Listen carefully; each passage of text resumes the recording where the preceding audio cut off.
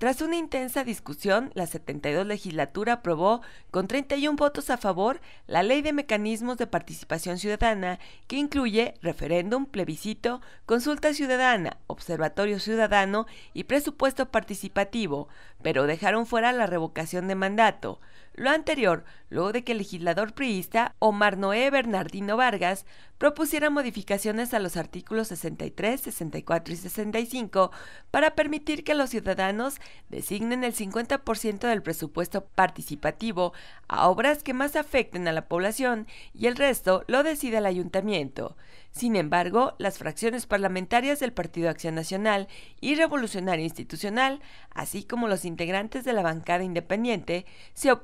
y rechazaron las modificaciones bajo el argumento que contraviene la jurisprudencia federal, además de que el 100% de los recursos deben decidirse en coordinación tanto autoridades como ciudadanos. Con información de Alejandra Martínez, voz María Cel Varela.